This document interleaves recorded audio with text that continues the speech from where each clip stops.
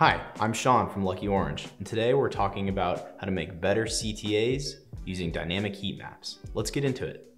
This is a Lucky Orange dynamic heat map. It's dynamic because it shows you how people interact with the dynamic elements of a page, like forms, pop-ups, and navigation dropdowns. Here are two quick steps you can take today to improve your CTAs and increase conversions. Number one, find the effective fold. This spot on the page represents the space where 50% of your website visitors on average are scrolling. See where your CTA is compared to this point on the page. If it's above, you're good. If it's below, consider moving it up or adding another CTA above this point. Number two, find the top clicked elements on your page.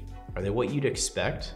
Are there some that rank above your CTA? If there's other items on the page that are ranking above the CTA outside of the main navigation, you might consider removing them, moving them, or just adjusting the page so that they don't distract from the main goal of the page, the CTA. Website optimization doesn't have to be difficult, so pull up a heat map and get started. We're always here if you have any questions.